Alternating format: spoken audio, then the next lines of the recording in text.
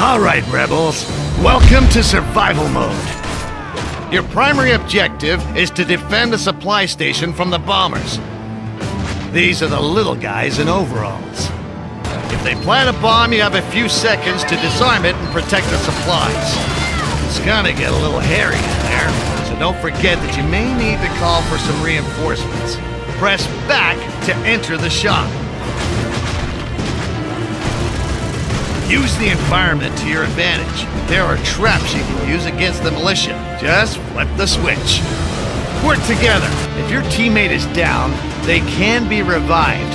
It's only over if both of you die. Survive as many waves as possible. The better you do, the more reinforcements get unlocked. See how you rank online.